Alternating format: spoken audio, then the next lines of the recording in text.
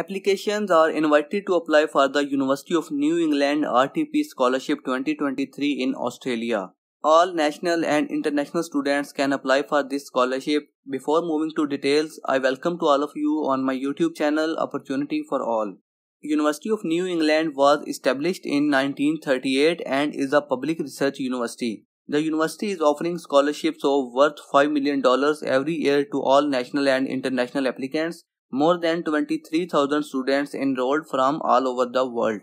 Australian Government Research Training Program RTP is a fully funded scholarship for international students and it will cover all the expenses.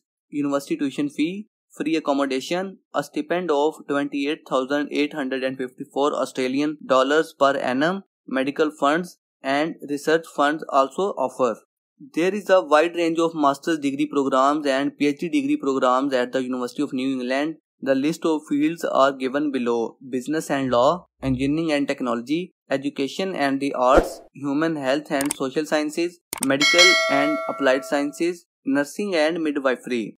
Eligibility criteria is national and international students from all over the world are eligible to apply. For a master by research degree and undergraduate degree is required and for PhD research program you need to demonstrate sufficient prior research experience and capability. Required documents are to apply for master degree applicants must hold a bachelor degree and transcripts and to apply for PhD degree program candidate must have master's transcripts. Two recommendation letters, research proposal, a CV or resume, English language proficiency proof and other reference documents if applicable.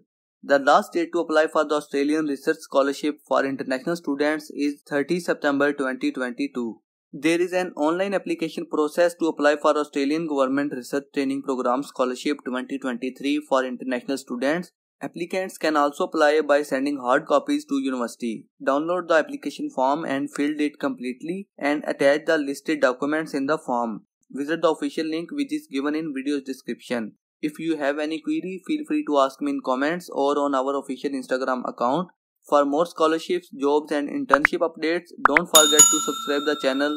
See you in the next video. Take care of you. Allah Hafiz.